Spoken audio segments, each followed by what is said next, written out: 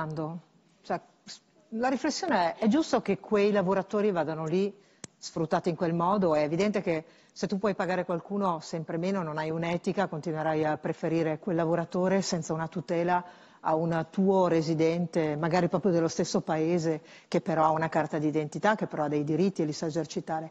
È giusto che eh, ti trovi di fronte a delle palazzine nuove, le guardi ai sacche di povertà che esistono e che sono lì preesistenti, è la tua gente, la tua famiglia e tu non possa dare una risposta, anzi dando quelle case solo agli altri, perché gli altri sono, sono visti così.